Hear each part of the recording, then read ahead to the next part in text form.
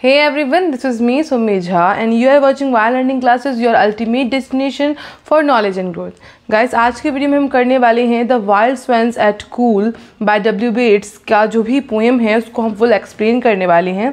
जिस तरीके से यहाँ नोट्स आपको प्रोवाइड हुए हैं अगर उसी तरीके से आप लिखेंगे एग्ज़ाम में then you will get the good marks and आगे जो है हम इसका इंट्रोडक्शन देखते हैं फिर हम इसकी समरी को डिस्कस करेंगे। पोएम ज़्यादा बड़ी नहीं है छोटी ही पोएम है। सबसे पहले वाइल्ड स्वैन एट कूल का मतलब समझेंगे कि कूल की जंगली हंस। ठीक है स्वैन की बात हो रही है यहाँ पे। सो so, यहाँ पे इंट्रोडक्शन पे चले। The wild swans at Coole is a poem by W B Yeats published in a collection of the same name in 1917 यह बोला गया है कि ये जो कविता है, ये जो पोएम है, ये डब्ल्यू बीट्स द्वारा लिखी गई है, जिसे 1917 में जो है पब्लिश किया गया था। Written when Yeats was in his fifties the poem sees a speaker visiting Coole Park in Ireland a place which Yeats himself had visited here he observe a large group of swans comparing the present moment to his first visit to the park nineteen years prior अब बोला गया यह कविता जो Yeats हैं, उनके 50 वर्ष की आयु के समय की है, जब वह आयरलैंड के कूल पार्क में जाते हैं। वहाँ कवि एक बड़े समूह में, यानी बहुत बड़े ग्रुप में जो है, वो हंसों को देखते हैं और वर्तमान क्षण की तुलना 19 साल पहले किए गए पहले दौरे में करते हैं। यानी कि अब जब वो आए हैं और जब 19 साल पहले वो आए थे, उन दोनों के समय का जो है वो तुलना करते हैं। ठीक है, उस पार्क में तब क्या समूह था हंसों का और अब क्या समूह है? यानी कि अब कितने हंस हैं?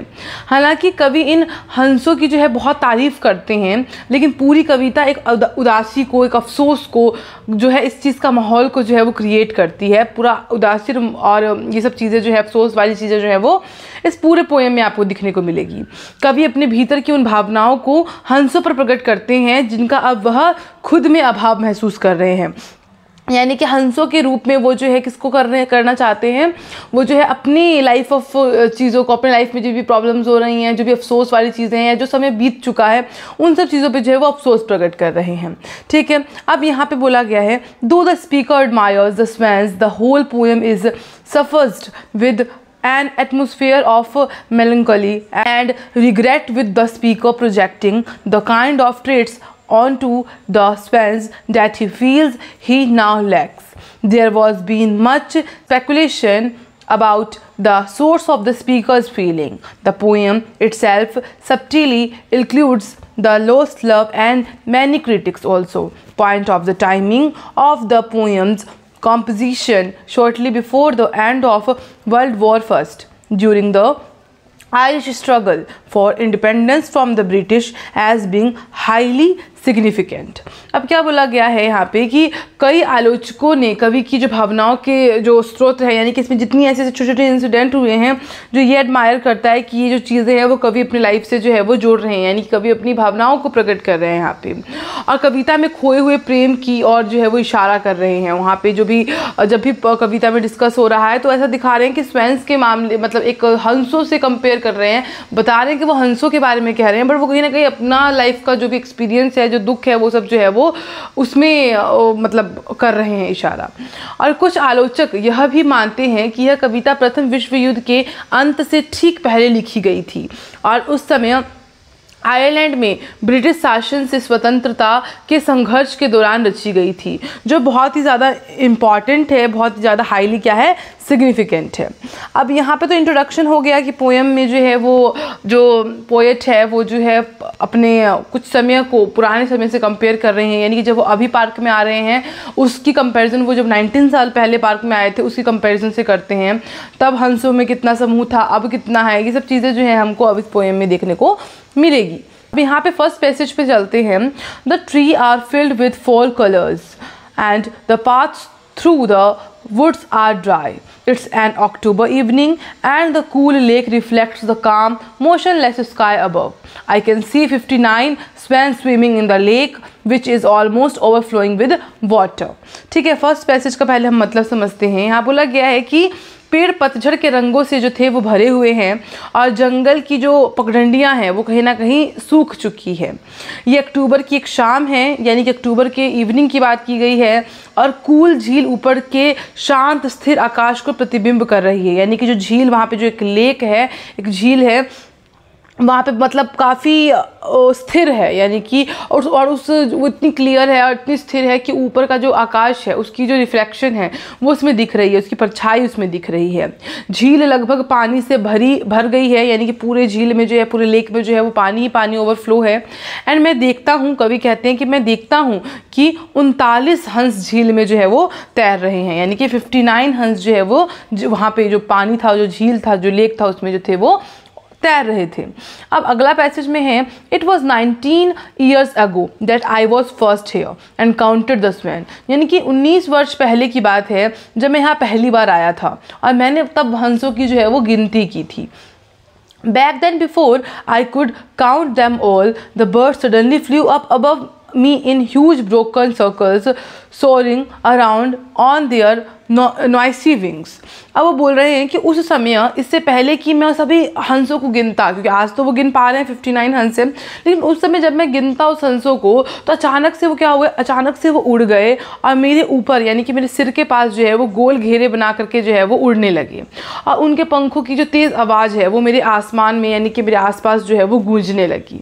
ठीक है? अब है looking at this beautiful birds now I feel feel heartache everything was Everything has changed since I first stood on the shore of the lake at twilight and heard the swan's wings beating like bells above my head.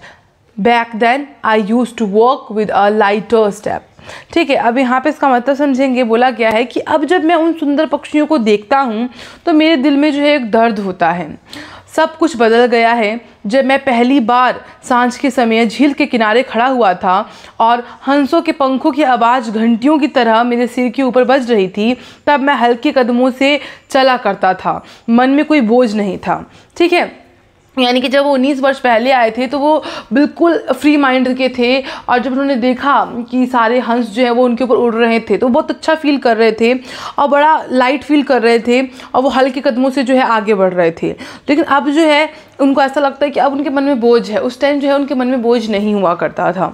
सब यहाँ पे last passage है the swans are still just as full of life as they were back then in their loving pairs they paddle through the cool friendly water or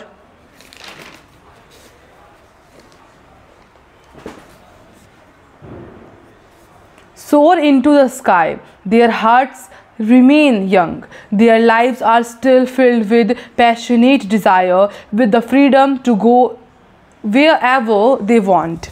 अब यहाँ last second last passage में बोला गया है, हंस अब भी उतने ही जीवन से भरे हुए हैं जैसे वो तब थे, यानी कि उनके लाइफ में कोई चेंज नहीं हुआ है।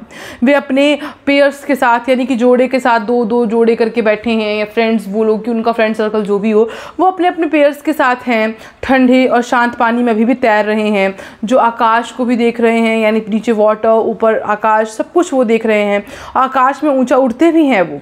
लेकिन उनके दिल अब भी युवा हैं यानी कि उनको कोई फ़र्क नहीं पड़ा है उनकी ज़िंदगी अभी भी प्रेम इच्छाओं और स्वतंत्रता से भरी हुई है उनके पास कहीं भी जाने की जो है वो फ्रीडम है आज़ादी है at this moment though the swan float on the calm surface of the lake, distant and beautiful. In the future, where will they build their nests?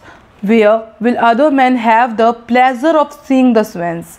When I wake up one day that they have flown away from cool.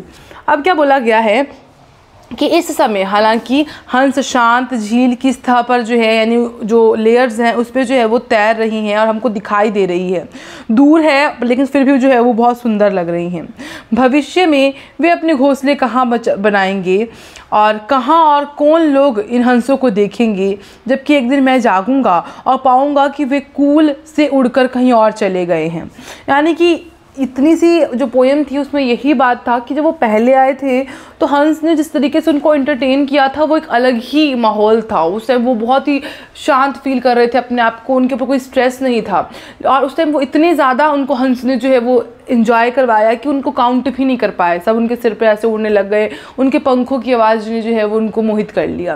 लेकिन जब वो दूसरी बार आए हैं तो बहुत शांत है, यानी वो अपने में मग्ध हैं, वो अपने में ही लगे हुए हैं और वो गिन रहे हैं कि वो उसको एंटरटेन नहीं कर रहे हैं कि वो अपनी लाइफ में व्यस्त हो चुके हैं। यानी कि एक चेंज उन्होंने देखा हंस के अंदर कि कब, किस तरीके से उन्होंने अपने आप को चेंज कर लिया। और वो ऐसा फील कर रहे हैं कि शायद अब मैं फिर कुछ सालों बाद आऊँ तो ये मुझे यहाँ पे हंस देखने को भी ना मिले। हो सकता है वो कहीं और घोंसला बना ले। या हो सकता है बहुत लोग उनको देखने के लिए जो है वो तरस जाए यहाँ पे वो जो है स्कूल पे जो है वो इस झील पे जो है वो नहीं दिखे। सो so, इसी के साथ ये जो पोएम है वो कंप्लीट होती है। आई होप आपको ये एक्सप्लेनेशन अच्छी लगी होगी। अगर आपको थोड़ी सी भी एक्सप्लेनेशन अच्छी लगी है तो वीडियो को लाइक कर दें एंड साथ में कमेंट करें कि आपको आपको लगा कैसा है। अगर आपको इससे ज़्यादा कोई और भी टॉपिक पे मतलब चाहिए तो आप अपना टॉपिक जो है वो कमेंट कर सकते हैं। मैं सबके कमेंट्स पढ़ती हूँ। अकॉर्डिंग टू कमेंट्स मैं जो है वीडियोज़ लेकर के आती हूँ।